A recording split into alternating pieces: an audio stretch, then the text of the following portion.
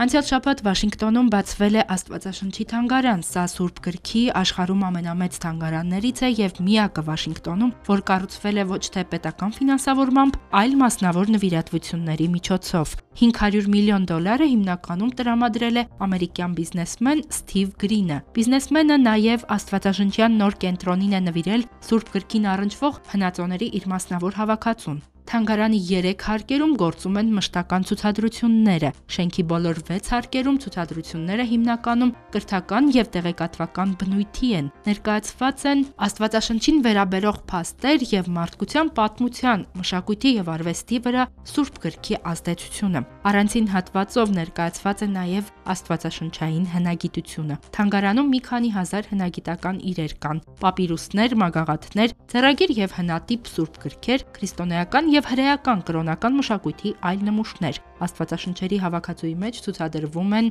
Հյուսիսային Ամերիկայում տպագրված առաջին հնդկացիական Աստվածաշունչը, ռեֆորմացիայի առաջնորդ Մարտին Լյութերի եւ Անգլիայի Հակոբ Արքայի տպագրած Սուրբ գրքերի վաղ օրինակները, կա նաեւ Մերյալ ծովից պեղված գալարների մեծ հավաքածու։ Թանգարանը համագործակցում է հրեական, բողոքական, կաթոլիկ եւ այլ կրոնական համայնքների հետ։ Ըստ էության իր հնարավորություններով սա նաեւ Սուրբ գրքի ուսումնասիրության նոր գիտական կենտրոն է։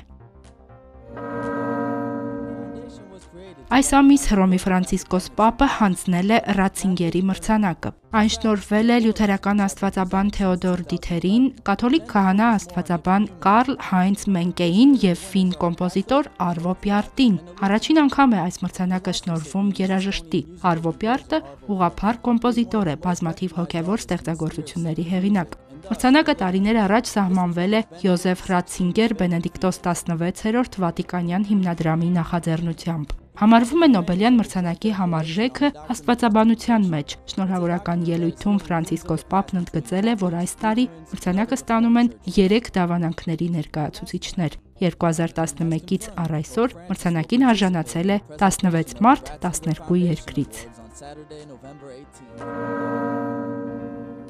Ավստրիայի կաթոլիկ եպիսկոպոսները դեկլարացիայով դիմել են երկրի նորընտիր իշխանություններին, խնդրելով ընտանիքներին աջակցող մատչելի բնակարանների հնարավորություն ընձեռող եւ գործազուրկներին օգնող քաղաքականություն վարել։ Հոգեվորականները կտրականապես դեմ են դուրս եկել միասեռական զույգերի ամուսնության օրինականացմանը Վիեննայի arczepiskopos Քրիստոֆ Շյոնբորնը հայտարարել է. Հասարակության ապագայի գրավականը ավանդական ընտանիքն է։